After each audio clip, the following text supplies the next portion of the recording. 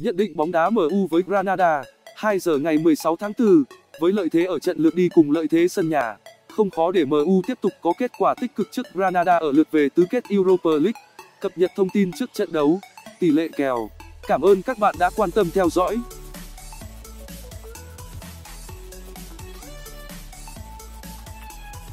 Trong khuôn khổ lượt về vòng tứ kết Europa League, Man United sẽ có trận tiếp đón đối thủ đến từ Tây Ban Nha Granada. Ở lượt đi cách đây một tuần Man United đã có chiến thắng 2, không ngay trên sân của đối phương.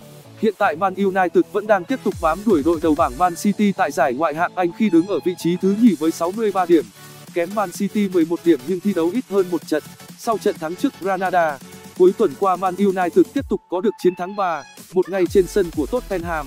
Trên sân nhà Man United đang có được 3 trận thắng và 2 trận hòa sau 5 trận gần nhất, trong đó cả hai trận hòa đều tại Europa League.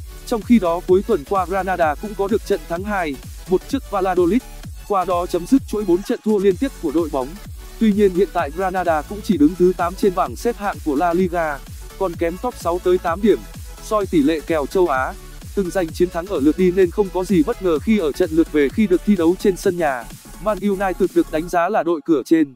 Không những thế kèo chấp còn ở mức rất cao khi lên đến âm 1,25. So về thực lực, rõ ràng Granada rất khó có cơ hội để lội ngược dòng. Tuy nhiên Man United lại thi đấu không thật xuất sắc trên sân nhà.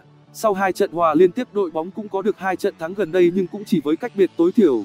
Với đẳng cấp hơn hẳn đối thủ và Man United cũng không cần gắng sức để có mặt ở bán kết nên chọn cửa dưới ở trận đấu này có phần an toàn và hợp lý hơn.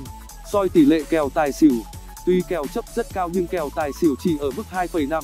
Với lợi thế trên sân nhà và hoàn toàn có thể áp đặt lối chơi lên đội khách nên có lẽ Man United sẽ chỉ thi đấu cầm chừng để bảo toàn thành quả ở lượt đi. Bởi thế chọn xỉu ở trận đấu này là hợp lý hơn cả.